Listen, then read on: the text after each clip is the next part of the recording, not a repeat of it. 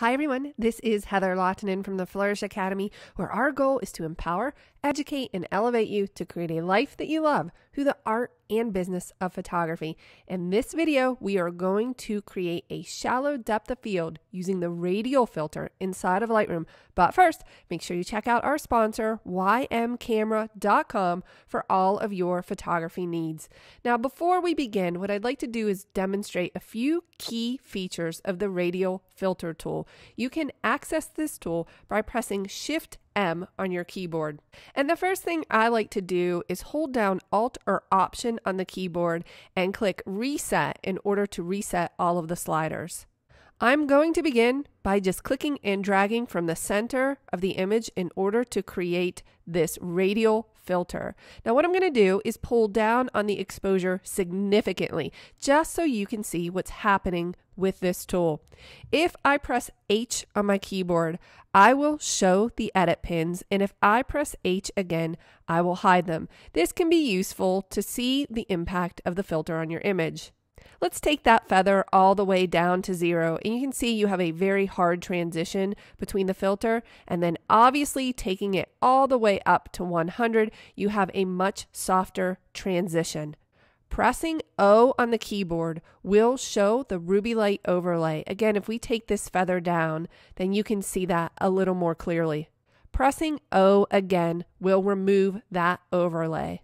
I'm going to press H to show those edit pins and show you a few things about adjusting this filter.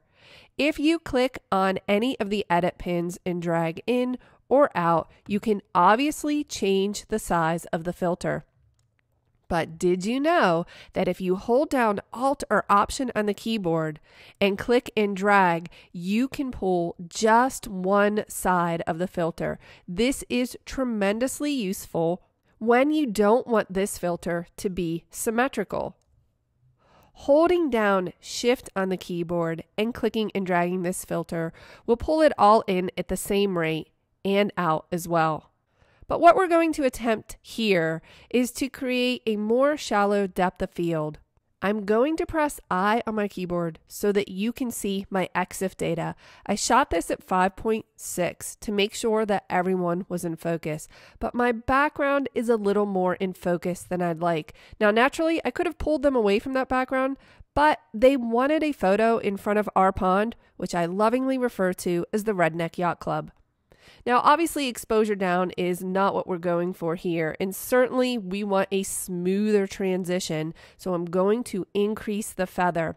But what I'm going to do next is pull down on the clarity, down on the sharpness, and down on the contrast just a little bit. And if you don't think this is making a difference, we can press this switch in order to turn this filter off and then turn it back on. Now I'm going to press H in order to hide those edit pins so you can see this a little bit better.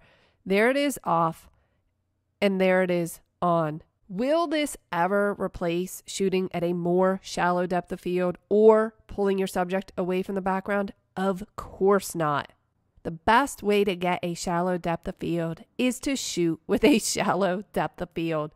Let's zoom in at a one to one ratio so that you can see how this impacted the branches on the willow tree. What you're seeing right now is with the adjustment, and there it is off. So it did make a difference. How much you choose to change these sliders is a personal preference. I would not recommend usually ever taking the clarity to negative 100 because it starts to blur the pixels a little bit too much. Now stay tuned because in the next video, we're going to take this one step further. I'll see you then.